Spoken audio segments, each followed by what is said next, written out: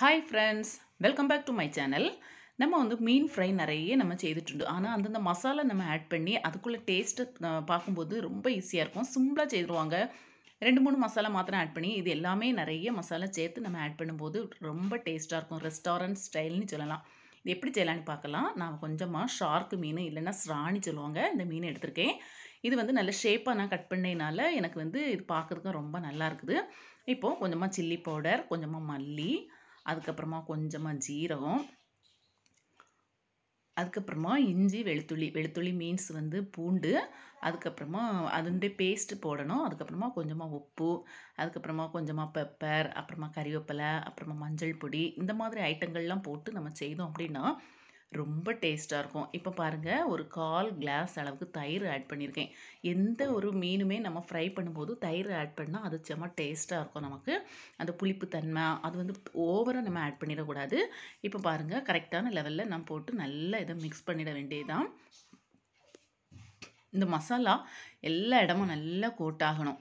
அது இப்போ வந்து நான் கொஞ்சமாக மஞ்சள் ஆட் பண்ணுறேன் இது ஃபஸ்ட்டாக நம்ம ஆட் பண்ணிக்கலாம். மறந்துட்டேன். அதனால் இப்போ நான் ஆட் பண்ணுறேன் இந்த மாதிரி நல்லா நம்ம கோட் ஆகும்படி செய்துக்கிட்டு வேற ஒரு பாத்திரத்தில் நம்ம ட்ரான்ஸ்ஃபர் செய்திடணும் அதிலே இருக்கிறத விட இந்த மாதிரி நமக்கு ட்ரான்ஸ்ஃபர் செய்துட்டோம் அப்படின்னா அது கொஞ்சம் அந்த வெட்டெல்லாம் கொஞ்சம் போய் ஒரு ஒரு முப்பது மினிட் நம்ம வச்சிட்டோம் அப்படின்னா சூப்பராக நமக்கு ஃப்ரை பண்ணி எடுத்துடலாம். இப்போ பாருங்கள் பார்க்கும்போது என்ன அழகாக இருக்குன்னு இந்த மீன் வந்து வால் சைடு உள்ள மீன்னால் அந்த மாதிரி ஷேப்பில் கட் பண்ணி நமக்கு கிடச்சி இப்போது கரெக்டாக தேர்ட்டி மினிட்ஸ் ஆயிட்டு. சாரி நான் தேர்ட்டி மினிட்ஸ் ஆனதுக்கு அப்புறமா நான் ஓப்பன் செய்து பார்க்கேன் சூப்பராக இருக்குது. இப்போ இந்த மசாலா தண்ணியாக இருக்காது இந்த மாதிரி எதுவுமே இருக்காது. இப்போ ஒரு ஃப்ரை பேனில் அவசியத்துக்கு ஆயில் அப்ளை பண்ணியிருக்கேன் ஒவ்வொரு பீஸாக நான் ஃபஸ்ட்டு போட போகிறேன் மொத்தம் நான் சிக்ஸ் பீஸ் எடுத்து வச்சுருக்கேன். இந்த ஃப்ரை பேனில் எனக்கு வந்து நாலு தான் போட முடியும்.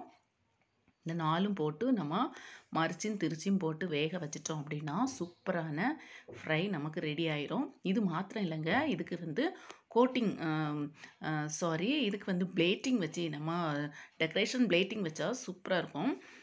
பிள்ளைங்களும் விரும்பி சாப்பிடுவாங்க. ரெஸ்டாரண்ட் ஸ்டைல்லே இதுக்கு என்னெல்லாம் வைக்கலாம் அப்படிங்கிறது நம்ம பார்க்கலாம். இப்போ பாருங்கள் நல்ல ஃப்ரை ஆகிட்டு இருக்குது.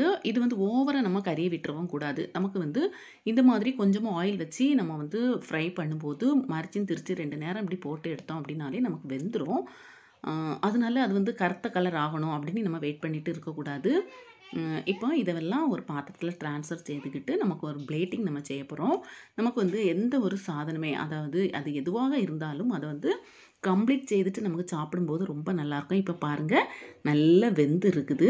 பேலன்ஸ் இருக்க ரெண்டையும் அடுத்த ஷிஃப்ட்டில் நான் போட்டு நான் எடுக்க போகிறேன் ஃப்ரை பண்ண.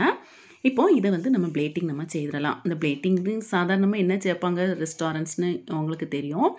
ரெஸ்டாரண்ட்டில் வந்து ஆனியன் அப்புறமா மல்லி இலை அப்புறமா சில்லி நான் ரெட் கலர் சில்லி வச்சுருக்கேன். அதுக்கப்புறமா இல்லை தக்காளி ஆட் பண்ணலாம். தக்காளி இல்லாததுனால நான் வந்து குக்கும்பர் நான் வச்சுருக்கேன். இதெல்லாம் வச்சுட்டு நம்ம சாப்பாடு சாப்பிடும்போது ஒரு கறிவேப்பிலை நான் வைக்கிறேன். சாப்பிடும்போது இதிலேருந்து ஒவ்வொன்று எடுத்து சாப்பிடும்போது ரொம்ப நல்லாயிருக்கும். இப்போ வந்து தக்காளி இல்லாததுனால இதில் வந்து நான் ஒரு செரி வச்சுருக்கேன் ரெண்டு செரி. அது ஒரு டெக்கரேஷனுக்கு வேண்டி இது கூட சாப்பிட்றதுனால நம்ம சாப்பிடலாம். பாருங்கள் நான் சொன்னது போல் ஃப்ரையும் ரெடி ஆகிட்டு பிளேட்டிங் ஃப்ரையும் நமக்கு ரெடி ஆகிட்டு கண்டிப்பாக நீங்கள் செய்து பாருங்கள் ஓகே பாய்